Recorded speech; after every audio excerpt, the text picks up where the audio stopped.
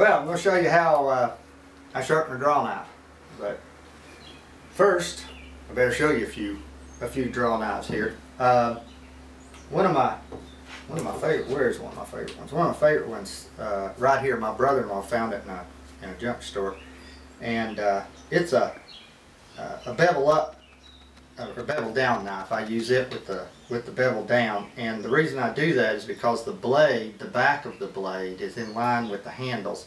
And so when you use it you put it out, put it on the wood, sits on the bevel, your wrists feel real comfortable. Whereas if I tried to turn it over and use it bevel up, I'd have to move my wrist down right like this. And and it's I mean you can use it like that but it's just not just not as comfortable. Whereas uh, this knife right here this knife right here the back of the knife is not in line with the handles with the tangs. It's canted right like that. And so if I tried to use it with the bevel down then I'd have to do the same thing with that one with the bevel up. I'd have to move my wrist in an uncomfortable position.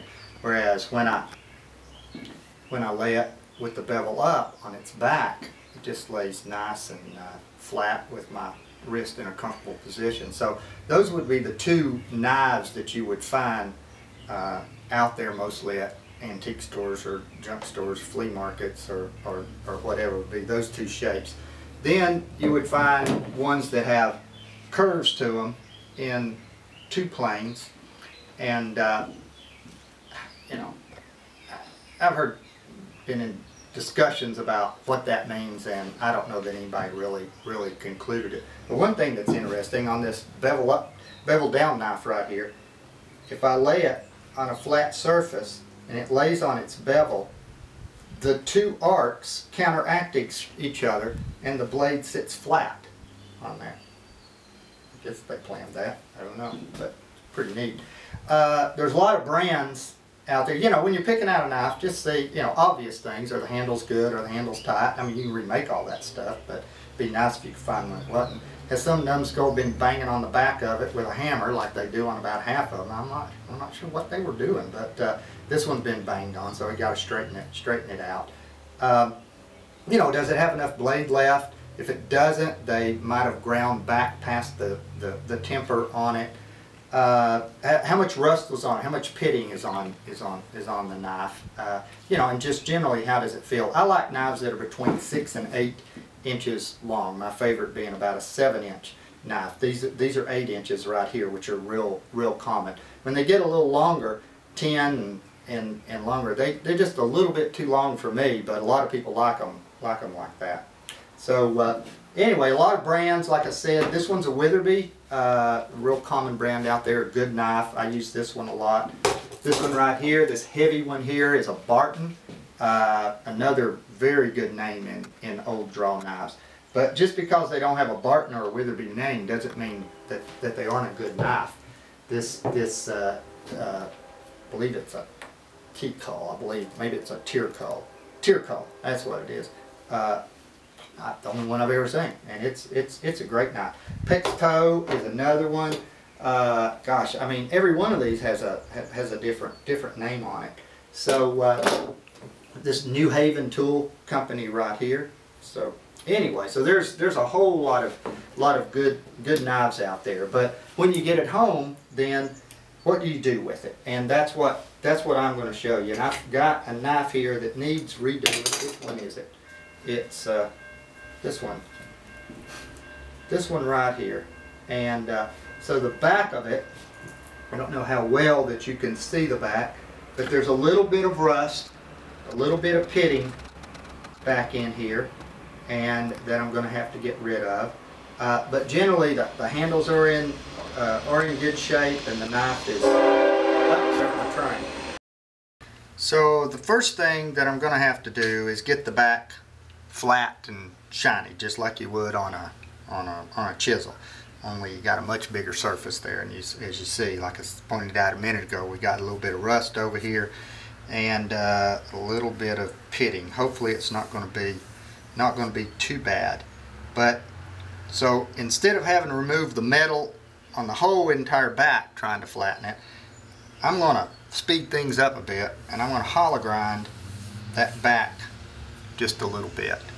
Now, the way I'm going to do that is I'm going to put it up here on the, the grinder right like that. Now, I'm going to use this little piece of wood here and I'm going to use this to grind the bevel and to grind the back and this was something that when Tim Manney was down here in the shop helping me uh, he made it he had seen it on Pete Galbert's blog and then later on I found out that uh, another guy who's worked with me some Andy Jack had already invented it and he just never told me about it because I used to freehand it and he didn't think I needed it. So, but anyway, Tim's the one that made it, that made it for me. It works great. All it is is just a little piece of wood as you can see, rounded in that direction and rounded in that direction.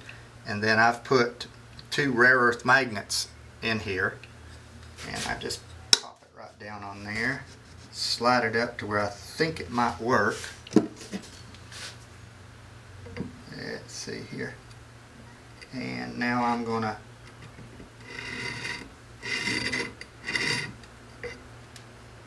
see where it's hitting. Yeah. So it's hitting right there which is gonna just gonna work out good. Uh, you can freehand that if you want. It's just a little safer to to do it like this. Now those rare earth magnets won't won't hold it under that pressure so I'll add a, uh, this is a 100 grit stone I think. Put that up there and let's check it again. Just make sure everything's okay.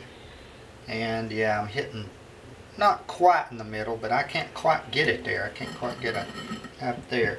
So let's uh, let's see if I can do this without hurting myself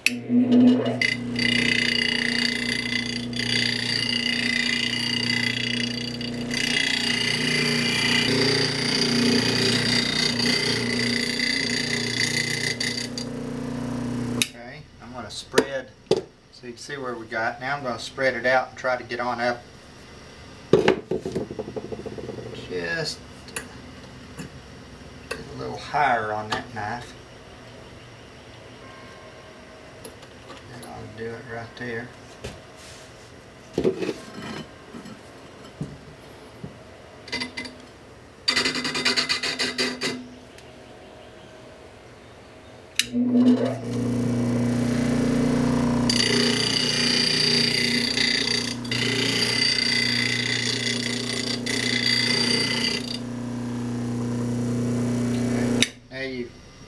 That I'm grinding on the side of the on the corner of the wheel and that's because the handles won't won't uh, fit across this right here.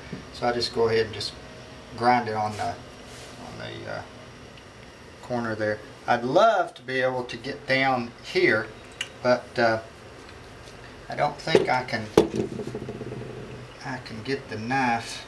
I don't think I can get it to cut that low there we go. That's what we want.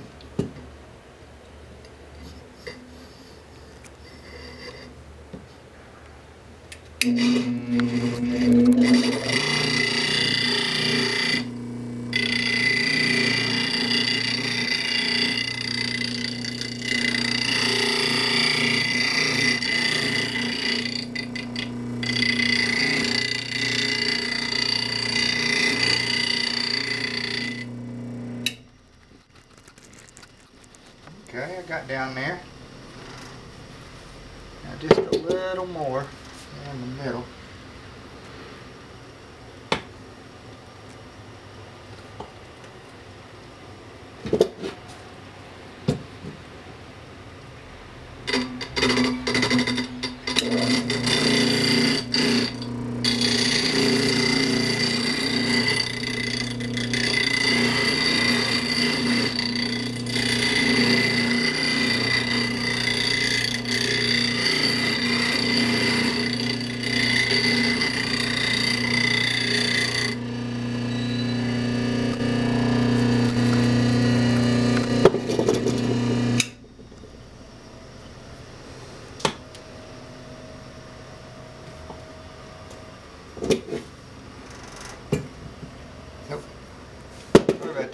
wrong way. Not thinking too much here.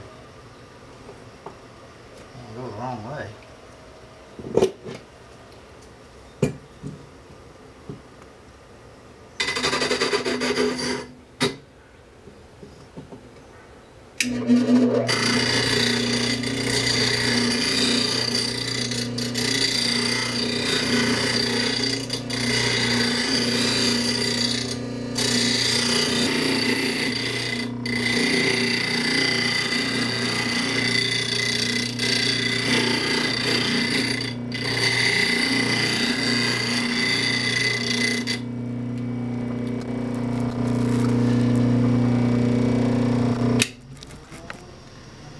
Well, I guess we can go over and take it to the stone and uh, give it a try.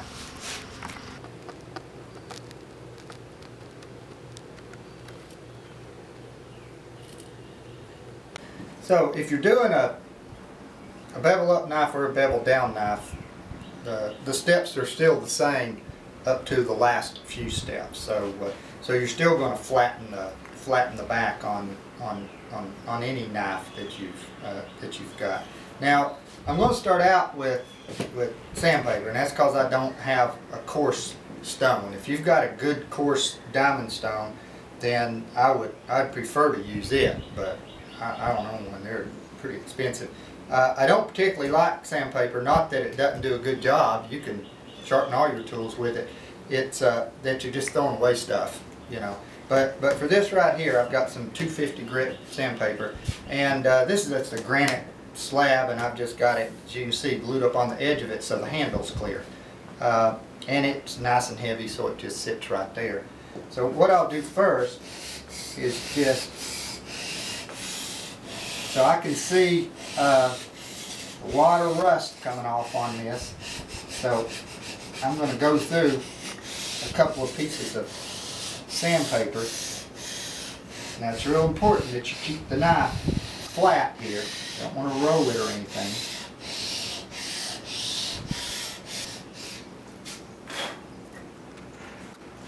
So let's see what we got here.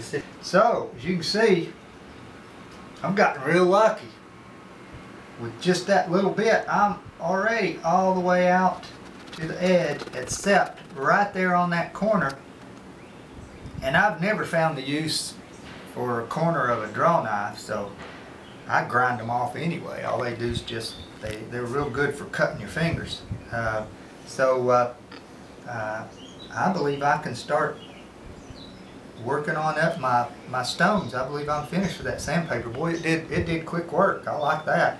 I would have worked a long time on an 800 grit water stone to so I've got my 800 grit water stone here and uh, uh, you know the, the water stones are soft so they get hollowed out especially the uh, uh the lower grit ones. You get on up to the 8000 grit and they're a little harder but these are these are fairly soft. So I'm gonna I'm gonna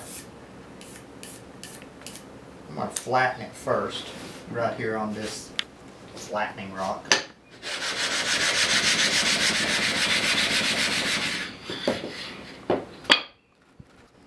So you can see that. You see I'm hitting on the outside just as I thought. It's low right here in the center. So I've got to get it all the way down here. Ah, there we go. Looking good. Okay. I'm gonna. So there's a lot of ways to lock your water stones in. Uh, you know, most people use a, a, a block of wood and uh, two ends right here and drive a wedge in between it and it just locks it in just great. And I never did get around to build one of those. I kept meaning to and one day I just set it on this piece of sandpaper and it stayed there. So I thought, well, that's all I need to do. So we'll see if it still stays there. I don't know. And uh, let's get a little water on that and wash that a bit. Okay. So I believe we're nice and clean, and flat, and everything else that we need. So uh, one thing you might want to do, you can take a, a marker and just run it down the edge. It,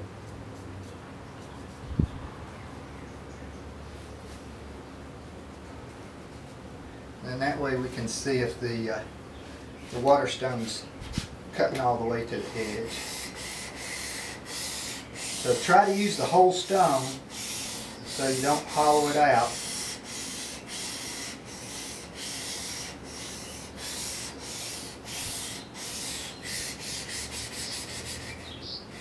Or don't hollow it out very fast because you're going to hollow it out.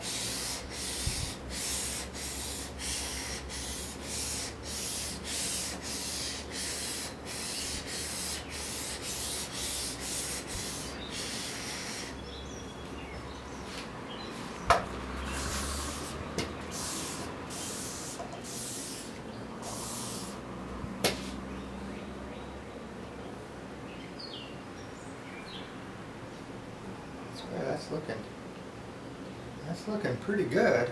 I'm gonna, I'm gonna hit it just a time or two again, but not that I think it really needs it.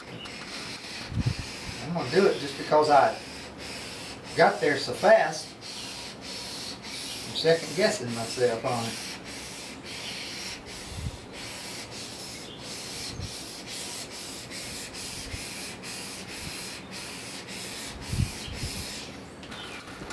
Okay. So I'm gonna put away the the 800 grit. And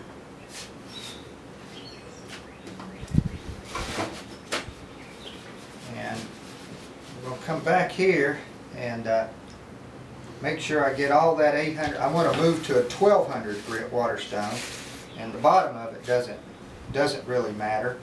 But I want to wash all the 800 grit, all the grit from the 800 grit stone off so it doesn't contaminate my uh, 1200 grit stone. But I am going to have to go back to the trough and wash this flattening because I'm going to have to flatten my 1200 grit. Okay, so I've got my 1200 grit stone in place and I've flattened it. And as you can see, it's the same color as the 800 grit stone, which I wish they hadn't done that. Uh, so now I'll be just trying to remove the 800 grit scratches on the back. And uh, that, that's the name of the game right there is uh, each stone removes the, the grit from the stone, uh, the scratches from the stone before it.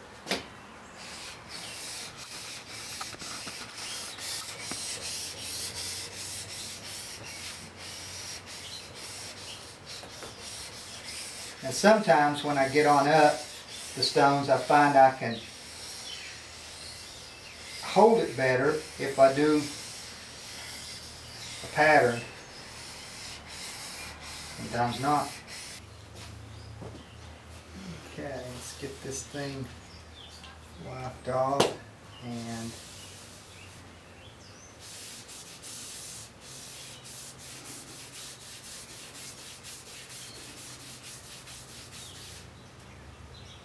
I'll get out my hand lens.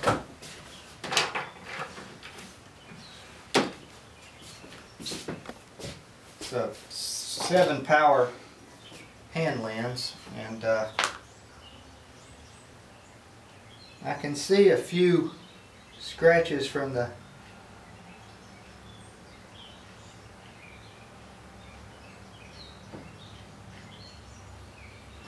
There's still a few scratches from the 800 grit, 800 grit stone.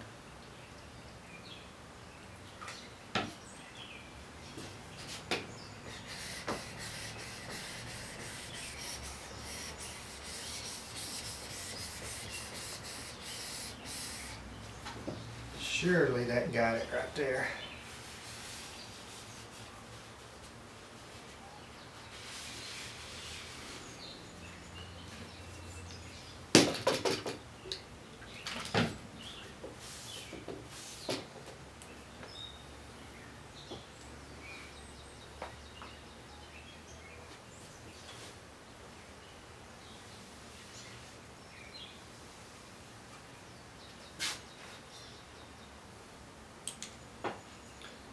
coat stand.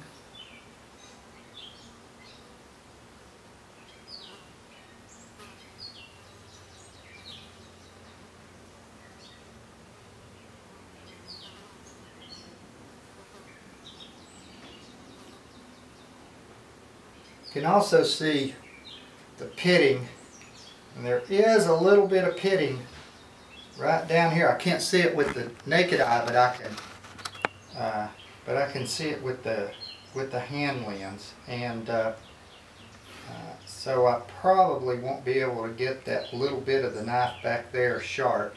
If that's all there is, then I'll let it be. But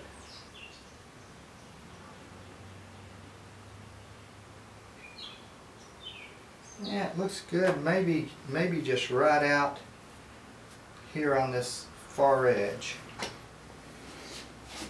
Think I'm having trouble. I think the knife might be. It's it's, it's where the it's got a sweep in it's curved, and I'm not keeping it flat out there. But this should do it right here.